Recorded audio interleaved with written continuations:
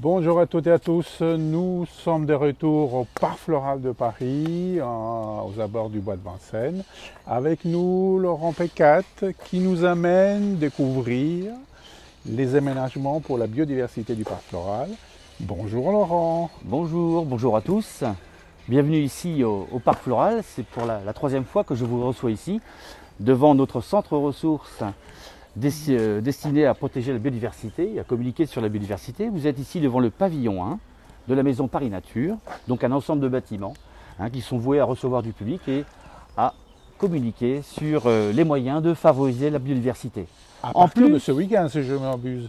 Oui, à partir de ce week-end, non, non, à partir de ce week-end, c'est la volière aux papillons qui sera ouverte, ah. hein, puisque les Paris Nature est ouverte toute l'année. Mais là, c'est vrai que tu fais bien de pointer euh, l'événement important de la Maison Paris Nature, c'est l'ouverture de nos papillons indigènes d'Île-de-France qui a lieu bien ce week-end, et ce jusqu'au 15 octobre. Papillons que nous viendrons découvrir euh, au courant mois de juin. Exactement. Le programme est sorti, je vous invite à aller sur Quai à Paris, programme nature juin et vous aurez tous les plus de 60 activités qui vous sont proposées par les agents de la ville. Mais revenons à notre euh, sujet d'aujourd'hui. Alors, autour de la maison Paris Nature, eh bien, la ville offre un parcours, un parcours qui est destiné à montrer donc aux citoyens un ensemble d'aménagements et de refuges qu'il est possible d'installer sur le bord de son balcon, dans sa cour intérieure, dans son espace vert si on a la chance d'en avoir un. Donc des propositions qui sont en faveur de la biodiversité, des aménagements et de refuges. Donc c'est l'occasion pour, les, pour le public de passer euh, visiter 11 refuges. 11 hein. thématiques quelque oui, exactement. Hein. certains sont plus destinés à favoriser les oiseaux, d'autres les insectes et d'autres refuges, l'ensemble de la biodiversité. Alors je vais vous inviter, non pas à passer vers sur les 11 aménagements. Ah ben non, il faut qu'ils viennent les découvrir au parc floral. Voilà, je vous propose d'aller euh, donc en visiter quelques-uns. Et Un aperçu de, ce parc. Exactement. Ce sont des micro-milieux qui sont représentatifs d'autres milieux hein, euh, donc, euh, qui existent dans la nature. On va commencer par un premier milieu, un aménagement qui a été fait par nos jardiniers, hein, qui est une friche, qui est en fait un délaissé Hein, qui est un délaissé dans notre monde occidental et avec une agriculture intensive. Ce sont plutôt des, des milieux avec connotation négative, alors que pour le naturaliste, pour les insectes, c'est un havre de paix, c'est un réservoir de biodiversité. Un paradis, paradis, qui a été Exactement. généralisé quelque part lors des ces mois de confinement. Chaque aménagement est comment euh, illustré par un petit panneau que je t'invite à aller voir. Je te suis. Alors pour certains d'entre vous qui ont suivi notre live sur les ancêtres, on a déjà un, un tout petit peu présenté. Exactement. Cette partie. Donc là, nous sommes devant deux éléments. Tout d'abord, un aménagement qu'on appelle la friche. Tu vois, auparavant, cette friche était représentée par un gazon. Donc en 2005, on a décidé de laisser un petit coin en friche. C'est-à-dire qu'on a laissé eh bien, les plantes annuelles, les plantes bisannuelles, hein, euh, donc s'installer au fur et à mesure dans, cette, euh, dans cet espace et qui offre un espace qui offre eh bien, à une végétation que l'on ne voit pas pousser sur, les, sur la pelouse, qui offre donc à une végétation la possibilité de pouvoir euh, s'exprimer et en même temps de faire venir le cortège faunistique, donc toutes les petites bêtes, hein, que ce soit des insectes, des mammifères, des araignées, hein, venir donc euh, eh bien, côtoyer ce milieu qui reste un petit peu en équilibre. Rares sont les milieux qui ne sont pas comment manipulés par les hommes. Hein. La friche, même si l'on doit intervenir pour pas qu'elle finisse en forêt, puisqu'on remarquera bien que ce sont les arbres. Si on ne gère pas une friche, ce sont les arbres qui prendront dessus. Donc euh, au fur et à mesure que les arbres prennent le dessus, voilà ce qu'il faut faire. Eh bien, c'est comme cette année, tout couper, remettre à nu tout le sol pour laisser s'exprimer. Tu vois des plantes qui sont complètement différentes de celles que tu vois à côté. Hein. Là, tu vas avoir une diversité. Tout simplement de gazon, euh, un peu quelques fleurs, des marguerites. Là, on va avoir une diversité de plantes, de familles de plantes assez importantes. Et nous savons, nous savons que plus il y a une diversité de plantes dans un, dans un environnement, et eh bien plus les animaux, leur diversité est nombreuse. Hein. On voit par exemple devant toi, tu t'arrêtes devant une plante qui pique un peu, hein, qui est l'ortie, qui est l'ortie. Alors si on ne laisse pas pousser d'ortie dans notre environnement, eh bien, eh bien, comment euh, l'ortie est le siège. C'est une plante haute pour par exemple une trentaine d'espèces de papillons. Elle intéresse 60, euh, enfin une trentaine de chenilles de papillons. Et là, le plus étonnant, c'est qu'une espèce que nous connaissons à Paris qui s'appelle la petite tortue dépend exclusivement de cette plante. Si à Paris on ne laissait pas, ou en Ile-de-France on ne laissait pas cette plante-là, ce papillon qu'on appelle la petite tortue, eh bien, euh, ne passerait pas du temps chez nous, on ne le verrait plus. On signale aux petites tortues euh, à l'écoute qu'il y a une piscine d'ortie à la ferme de Paris. Ah, très bien, c'est parfait. Oh, bah, c'est une plante magique, hein. c'est quand même une plante que tu vois.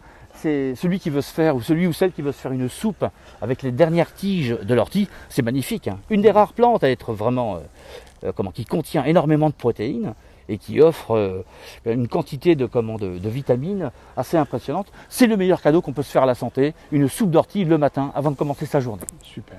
Voilà pour le premier aménagement. Maintenant, on va aller voir un, un refuge, un refuge qui est destiné aux oiseaux. Alors pour aller jusqu'à ce refuge, nous allons passer par une, Donc voilà, Un comme espace- tu nous le disais, à chaque parcours, son affiche qui nous explique tout. Alors on va se diriger donc derrière la bibliothèque vers un, cette fois-ci non pas un aménagement mais un refuge.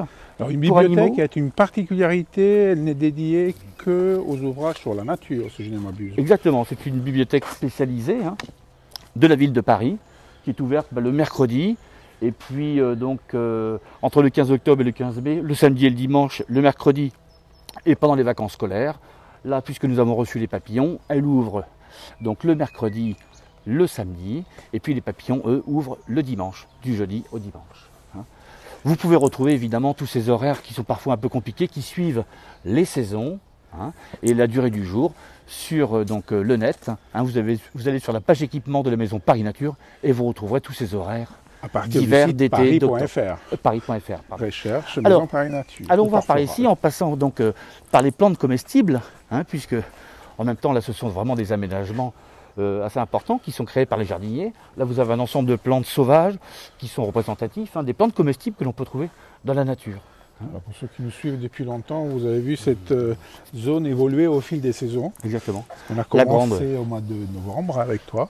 La consoude, la bourrache, l'ail des ours, la carotte sauvage, enfin que des Et- plantes merveilleuses que l'on peut. En étant un Que l'on peut récolter. botanique, hein, parce que le parc floral fait partie des landes des quatre sites du jardin botanique Exactement. de Paris, toutes les plantes sont euh, indiquées. Il y a un petit, euh, euh, Petit panneau. comment dire, ca- cartel, Ouais. on peut l'appeler comme ça, Petite carte, oui, bien sûr. qui explique le type de plante.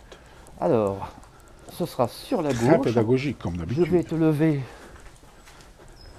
Tiens, Ah, je Ah, bah, c'est toute une aventure. Ah, toujours. Voilà.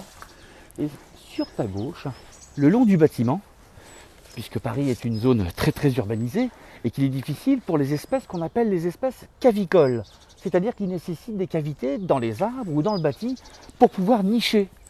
Aujourd'hui, avec la rénovation des bâtiments, des bâtiments neufs, il est difficile, ou alors à cause des tempêtes hein, qui euh, fragilisent les arbres, donc nos, forestiers évidemment s'occupent des arbres fragiles, hein, euh, pour notre sécurité, pour éviter que les branches nous tombent sur la tête. Ce qui fait que les animaux cavicoles, comme la maison charbonnière, hein, oiseaux euh, auquel est destiné ce, ce nichoir, eh bien, puissent euh, toujours se reproduire. On leur offre dans les parcs et jardins des nichoirs de ce type. Là, tu as un nichoir typiquement fait pour le, la maison charbonnière. Figure-toi Et- que nous avons une caméra à l'intérieur et nous avons pu observer. C'est bien le fil que je vois passer par là, c'est ça? Voilà, c'est ça, le- c'est le fil qui est là. Et donc, ont déjà été élevés ici une nichée d'une dizaine de petits. Cette année.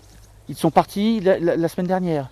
On peut imaginer que deux autres nichés vont pouvoir s'exercer, dans, s'opérer dans ce nichoir. Alors la question est spontanée. Oui. Est-ce que ces images sont disponibles quelque part?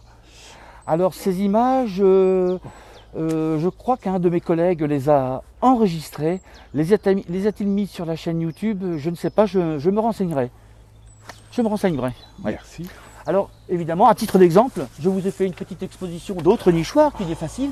En fonction des espèces que l'on veut attirer dans un endroit, dans un environnement, hein, et qui, qui manqueraient donc de, de loges pour, pour nicher, eh ben voici différents nichoirs.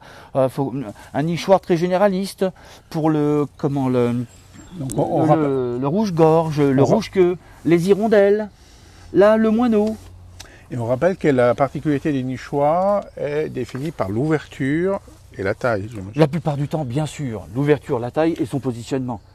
Euh, très bonne question. On s'aperçoit globalement que si le trou du nichoir à mésange fait aux, aux alentours de 3 cm 2, 3 cm 5, c'est plutôt la mésange charbonnière qui va s'occuper donc de nicher dans ce nichoir, alors que si on réduit le trou, c'est euh, entre guillemets sa cousine, une autre espèce, la mésange bleue, qui ira dans ce nichoir-là. Chacun d'entre elles pensant qu'une entrée la plus réduite possible est la meilleure pour leur sécurité.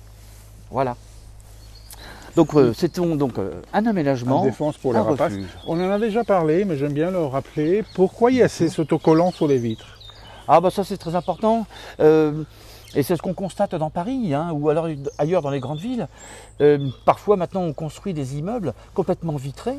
Alors quelquefois ça peut être, ça peut être beau, hein, mais imaginez bien qu'en fonction de l'orientation du soleil, si vous êtes un oiseau, régulièrement, s'il n'y a pas de leurre comme euh, les oiseaux qui sont dessinés là, ben, les oiseaux ont une tendance à venir donc s'assommer sur les vitres. C'est la raison pour laquelle on a disposé tout autour de la maison Paris Nature donc des leurres d'oiseaux comme ça pour éviter que d'eau- ben, les, les réelles espèces ne viennent se cogner. Et je, je crois comprendre que les nouvelles vides, effectivement, de ces bâtiments vitrés ont un traitement spécial pour que l'oiseau se rende compte que bah, c'est un obstacle. Ben, c'est Fab- génial que ce Voilà. soit arrivé sur le marché.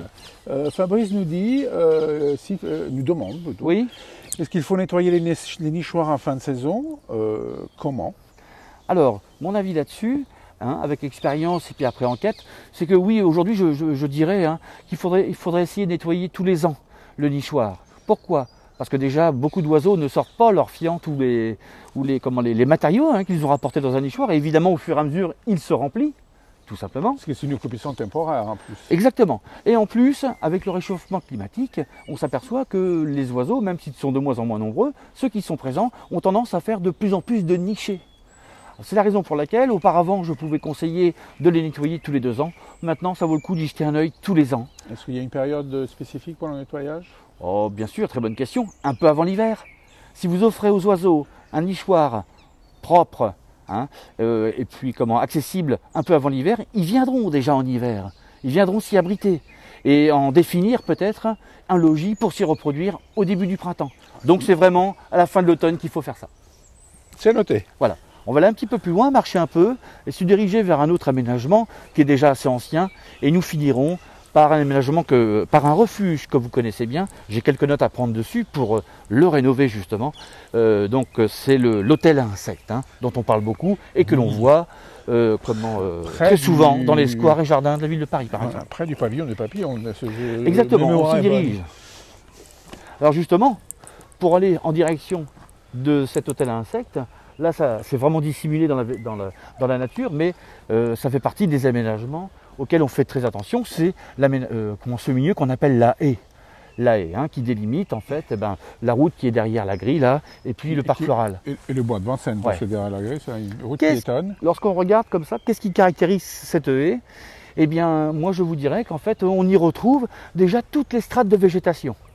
Toutes les strates de végétation, la strate herbacée, la strate euh, donc euh, buissonnante, arbustive et la strate arborée. Tous ces strates permettent à des animaux différents de pouvoir circuler, de s'abriter et puis de se reproduire hein, dans, ce milieu qu'on appelle la haie.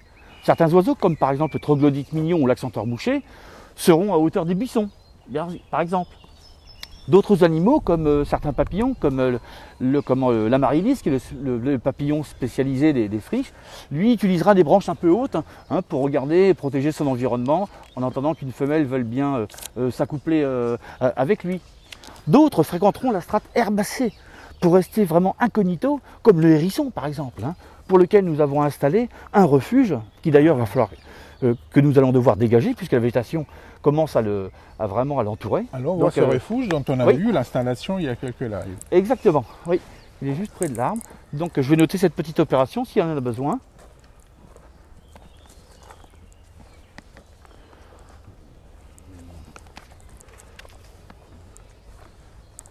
Alors,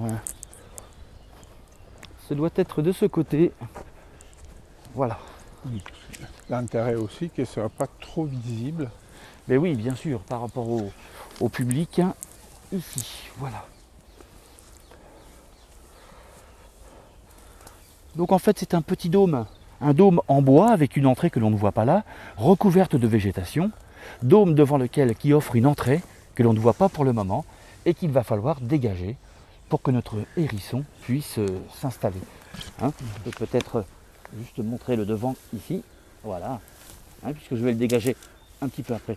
Là, tu as l'entrée possible d'un hérisson qui peut venir ou se reproduire, ou alors juste comment se reposer pendant la journée. Parce que les hérissons hein, ont des gîtes dans lesquels ils se reproduisent et d'autres pour se reposer. Donc il y a quelqu'un qui pose des questions sur les hôtels insectes. Oui. Amber, on va y aller tout à l'heure, donc reste à l'écoute et on te répondra. Oui, on est à une vingtaine de mètres de, de cet hôtel vers lequel nous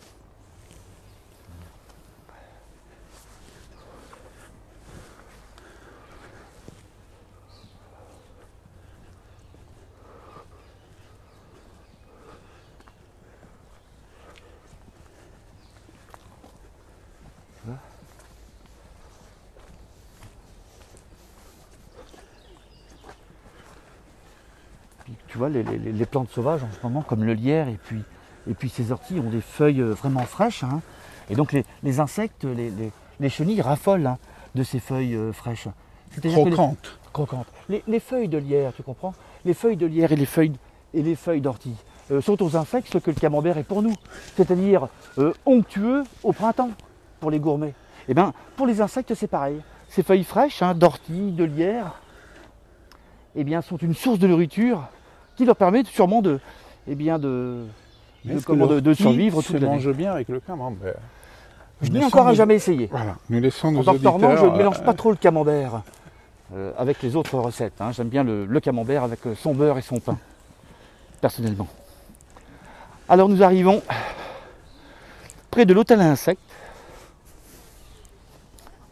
que l'on voit d'abord de dos, puisque nous avons pensé à une exposition plus adéquate qui est plein sud, puisque toutes ces petites bêtes hein, qui sont évidemment fragiles, c'est la raison pour laquelle on ne les voit pas l'hiver, il fait trop froid, on leur offre un refuge pour se reproduire, un refuge qui est un condensé de ce qu'ils peuvent trouver dans la, nature. Hein. C'est un refuge, disons, très pédagogique, hein, qu'on appelle, que vous voyez partout, donc l'hôtel à insectes, et je vais regarder toutes les opérations que nous allons devoir faire de, dessus. Film, film, film. Alors, j'essaie de retrouver la question. Alors, Humbert a acheté deux hôtels insectes. Aucun trou des pollinisateurs n'est occupé. Est-ce qu'il y a des erreurs à éviter? Très bonne question. Nous aurions pu en parler d'ailleurs euh, tout à l'heure euh, devant la friche avec les totems. Alors, par exemple, concernant, vous voyez, tous ces petits trous qui ont été percés hein, dans le bois là. Tous ces petits trous sont destinés à accueillir plutôt des insectes pollinisateurs, des hyménoptères, comme les abeilles et puis les guêpes solitaires par exemple. Mais ces animaux-là, c'est pas juste en leur perçant un trou qu'on les attire. Hein. il faut leur percer un trou du bon diamètre et de la bonne profondeur. C'est-à-dire que pour la, plus, grande majorité des hyménoptères, euh, vous allez devoir donc utiliser des mèches à bois, des mèches à bois d'un diamètre de entre 3 entre 3, 4 jusqu'à 12 mm. Donc vérifie d'abord le diamètre de trou. Hein, ça va être le 4, 5, 6, 7, 8 mm les plus utilisés. voyez? Et donc plus vous mélangez comme ça les diamètres, ça fait un peu comme les oiseaux les nichoirs, plus vous allez pouvoir accueillir eh bien, des insectes différents dans votre hôtel. Très important. Donc l'histoire de diamètre, cet élément-là, et l'autre, euh, qu'on voit, qu'on voit assez rarement, pour que ce soit vraiment efficace, il faut que le trou fasse jusqu'à 8 ou 9 mm, 8 cm, 8 ou 9 cm. Pour que, les némoptères puissent se rendre Il faut qu'il y ait de la place, exactement. Si vous prenez une, insécurité. si vous prenez une petite, mèche à bois, une petite mèche à bois classique, vous allez obtenir un trou qui va faire 4 cm et ce ne sera, pas trop, et ce sera pas assez. Donc si vous voulez vraiment offrir un logis efficace pour les insectes, les hyménoptères, eh bien le diamètre et la profondeur est important. Donc 8 cm de profondeur, entre Minimum, 4 et 12 mm de diamètre. Exactement et là, ce sera bénéfique. Alors, on a évidemment, on a d'autres matériaux qui servent à, comment attirer les insectes. Vous voyez par exemple des tiges creuses qui sont euh, des tiges creuses, donc euh, deux, types de tiges. Des tiges creuses, comme les, bambous, ou alors des tiges euh, creuses mais avec de la moelle dedans. Les deux matériaux vont attirer des insectes, des insectes différents. Sur votre droite, vous avez une, une petite case dans laquelle on a mélangé du papier à journal Du papier, du carton, euh, et puis comment de, la paille. Alors là, ça va permettre à des coléoptères comme la, la coccinelle, euh, à d'autres insectes comme les chrysopes, hein, de venir donc passer l'hiver, d'hiberner. Et donc ça, c'est la garantie d'avoir des prédateurs de pucerons en début de saison. Si on a un logis dans lequel peuvent passer comment, les coccinelles, et qu'en début de saison, c'est-à-dire à la fin de l'hiver, on leur offre dans l'environnement du pollen, du pollen par des arbres qui donnent du pollen de bonheur, comme le noisetier par exemple, eh bien c'est la garantie d'avoir des prédateurs de pucerons au début de saison dans son jardin. Voilà, donc il faut pas. Alors, euh, il y a quelqu'un, il y a Noé des mémoires qui nous dit qu'effectivement, il ne faut absolument pas peindre le bois, il faut que le bois soit naturel. Oui. Et quand tu dis que cet hôtel ne soit pas mis isolé, il faut un peu de plantes, des fleurs, des friches ah bah, autour. bien sûr, vous pouvez leur mettre un, hôtel magnifique 5 étoiles si, alors très bonne, très bonne remarque d'ailleurs, si autour vous n'avez pas un tant soit peu de nourriture hein, pour, les, pour les insectes qui, qui vont émerger, ben, ça va quand même être compliqué de pérenniser toutes ces populations. C'est la raison pour laquelle ont été disposés du romarin, euh, de la lavande et d'autres plantes, de façon à ce que les premiers insectes qui sortent puissent trouver eh bien, ah, les, premiers, de quoi se nourrir. La nourriture, c'est la vie. Donc là, il y a quand même deux trois opérations à faire, tu vois. Changer quelques comment quelques bottes de, tiges creuses, euh, remettre un peu le grillage. On va euh, couper un petit peu ce qu'il y a devant pour ne pas empêcher comment le, passage des insectes. Et surtout, on n'oublie pas les insectes qui ne vont pas simplement dans l'hôtel, mais qui vont euh, donc s'enterrer dans le sol. C'est la raison pour laquelle sous l'hôtel, on va dégager un peu la zone, hein, la rendre un peu sableuse pour permettre eh bien, à des quêpes, par exemple, de s'enfouir dans le sol pour se reproduire.